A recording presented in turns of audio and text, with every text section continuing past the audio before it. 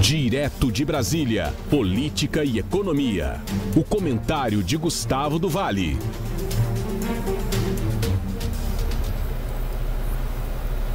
Vamos conversar com ele, Gustavo do Vale, que chega falando sobre as eleições.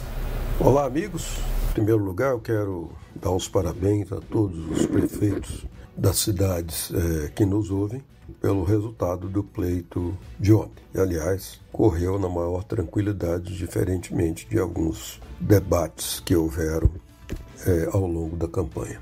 Hoje eu vou pegar um, um artigo do jornalista Thomas Trauman, onde ele faz uma análise bem interessante, porque, segundo ele, existe, e é verdade, uma ideia né, na política de que as eleições municipais não influenciam as, a disputa presidencial que acontece dois anos depois, né, no caso aqui em 2026. E ele conclui que isso era verdade até domingo passado, quando os eleitores de São Paulo colocaram no segundo turno os candidatos apoiados pelo governador Tarcísio e pelo presidente Lula, respectivamente o prefeito Ricardo Nunes e o deputado federal Guilherme Boulo. E isso fez com que a eleição presidencial de 2023 começasse hoje.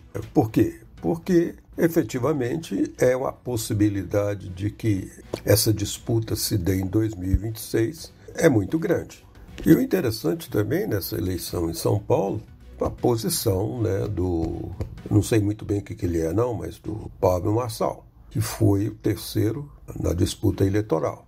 Ele, sem dúvida nenhuma, racha né, o antipetismo, na medida que o eleitor paulistano que votou nele exibiu né, uma tendência a uma direita radicalizada e antissistema, que não se vê representada é, nem pelo Tarcísio, nem pelos possíveis governadores candidatos como Romeu Zema, Ratinho Júnior e Ronaldo Caiado. Segundo esse jornalista, né, o Marçal representa a segunda geração do bolsonarismo mais parecida com o argentino Javier Milei e o salvadorenho Bukele, é, do que né, com o próprio é, Bolsonaro.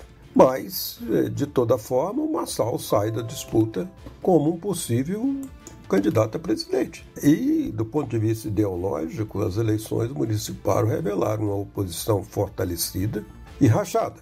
O bolsonarismo, é, aliado ao Marçal, conseguiu levar ao segundo turno a candidata Cristina Graeme, em Curitiba, e o Fred Rodrigues, em Goiânia. Este, então, contra o Sandro Mabel, candidato do governador Ronaldo Caiado. Em Belo Horizonte, o candidato da direita, né, Bruno Engler, praticamente imitou Marçal no debate da TV Globo, insinuando, sem nenhuma prova, que um dos adversários era usuário de cocaína.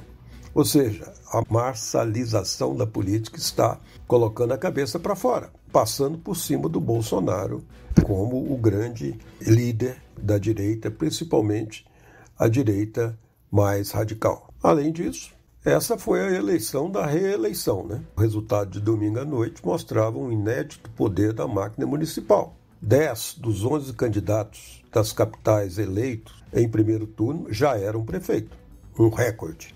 E isso aconteceu em diversas é, cidades do Brasil. Ou seja, é possível inferir que o poder da reeleição está diretamente vinculado ao poder das eleições presidenciais de governadores e legislativa que acontecerão em 2026. Por hoje é só, um grande abraço a todos e até amanhã.